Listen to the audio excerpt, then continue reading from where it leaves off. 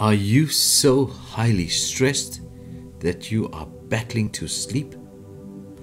That's the plan of the devil to steal your joy because if you're having a restless sleep, you get up in the morning tired and weary and you can't face the day. Friends, the Bible's very clear about managing your stress. Stress comes through worry, and it's that time of the year again. We are concerned about what we're going to do.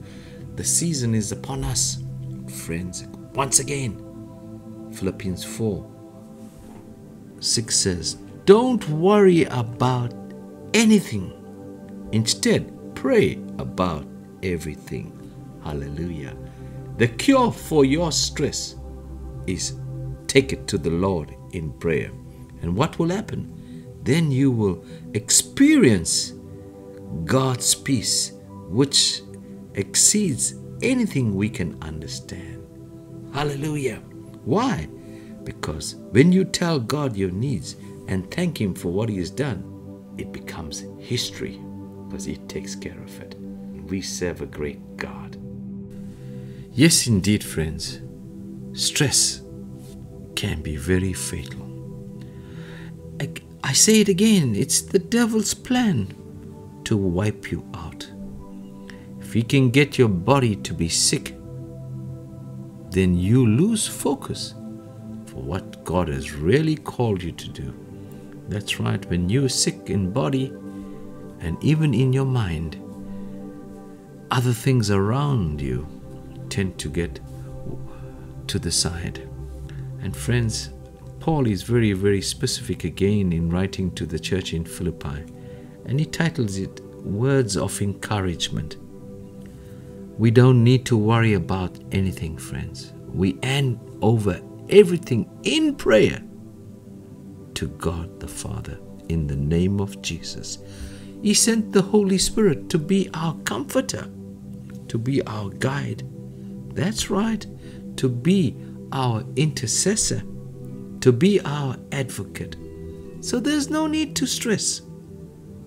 When we've handed over everything to God and thank Him for what He has done in advance, oh, friends, the peace that comes upon us through the working of the Holy Spirit is something we cannot explain.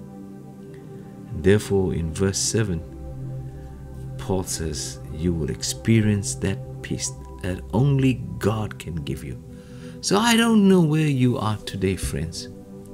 You could be going through something that you think you've come to the end of the road with. There's always hope. There's always an answer in God. Take everything to God in prayer. Just like the hymn, hymn writer says, What a friend we have in Jesus. All our sins and griefs to bear. That's right. He bears everything. He is the burden bearer. Take it to Him in prayer. And I pray as I pray, that burden will be lifted in Jesus' name. No matter what you're going through, He will see you through.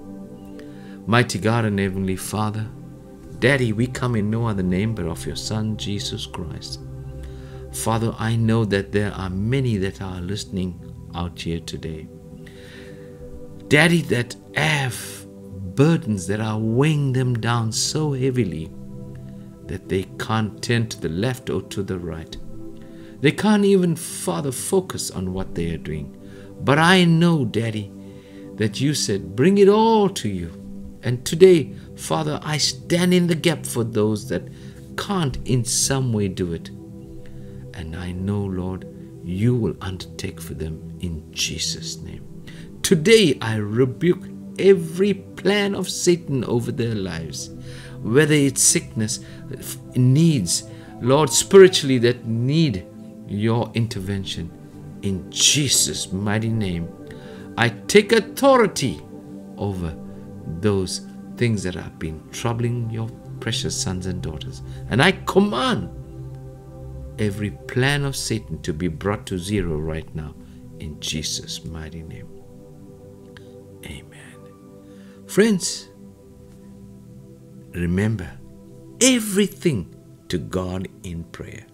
Wow! Until next time, this is Pastor Henry Samuels, praying that you remain touched and changed in Jesus' mighty name.